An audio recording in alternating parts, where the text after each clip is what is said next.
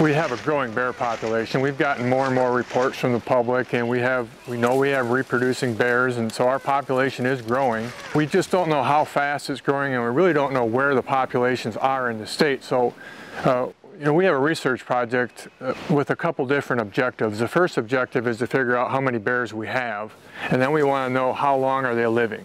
Do we have females that are having three cubs every other year? Are females not having cubs until they're five?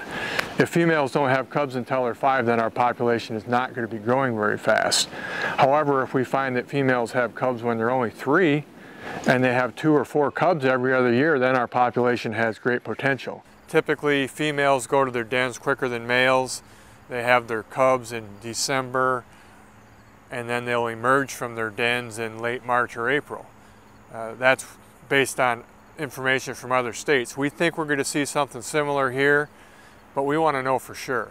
The other thing we'll learn from, from this den work is how many cubs do they have each year and how old are they when they breed. A lot of people probably don't know that bears don't breed until they're at least three, sometimes they're not until they're as old as seven. They also only breed every other year.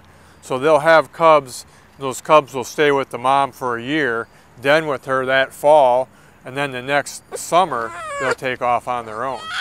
So we want to try to understand some of these things about our bears so that we can better manage them.